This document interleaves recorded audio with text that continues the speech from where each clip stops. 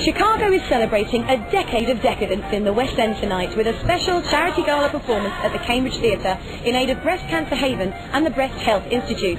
The show has played to over 17 million people around the world, and we were there to meet the stars, both past and present, to find out what makes this musical the hottest show in town.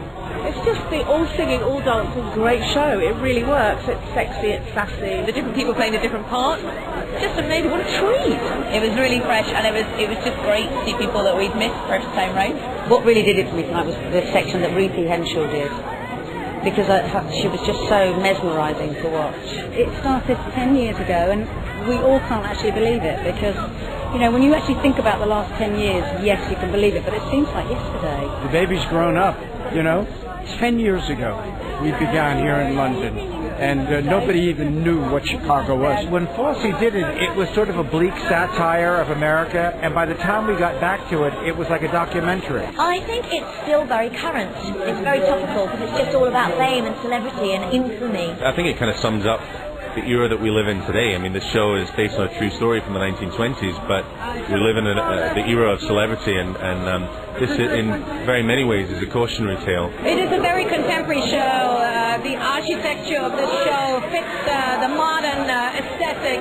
Everything is clean cut, minimalist. The show is like a perfect show. It's so lean and economic, nothing extra. Just the band on stage and people are telling the story. It's so simple. It's really lean and economical, um, and the music is to die for. It's got so many um, factors in it that are relevant to today. The celebrity factor. She's got everything. As a dancer, a singer, and an actor, and you also get to be comedic. You get to to be sexy. I don't have to wear see-through sort of stocking tops and things. I get to wear a cardigan. What I love about it is the casting.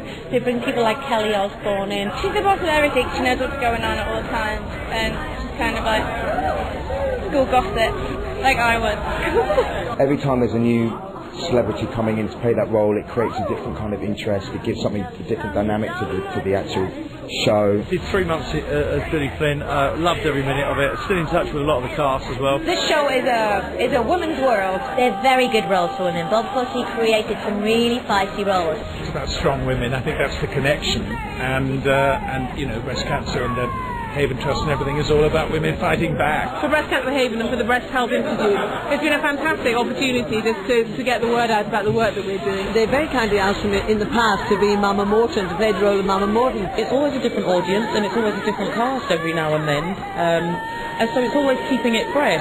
There's a good book and good songs, good lyrics, good tunes, and ladies in underwear. So it's going to be a really good lineup. So uh, get your tickets.